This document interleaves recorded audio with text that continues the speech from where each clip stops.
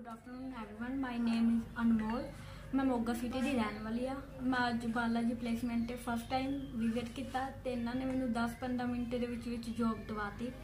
ਇਹਨਾਂ ਦੀ ਸਰਵਿਸ ਬਹੁਤ ਵਧੀਆ ਹੈ। ਬਾਲਾ ਜੀ ਪਲੇਟਫਾਰਮ ਬਹੁਤ ਹੀ ਜ਼ਿਆਦਾ ਵਧੀਆ ਜਿਹੜੇ ਵੀ ਬ੍ਰਦਰ ਸਿਸਟਰ ਨੂੰ ਜੌਬ ਲਈ ਲੋੜ ਆ, ਤਾਂ ਇੱਥੇ ਬਾਲਾ ਜੀ ਪਲੇਸਮੈਂਟ ਤੇ ਵਿਜ਼ਿਟ ਕਰ ਸਕਦਾ। ਤੇ ਮੇਰੀ job as a computer operator Samsung care centre ਵਿੱਚ। Thank you so much Bala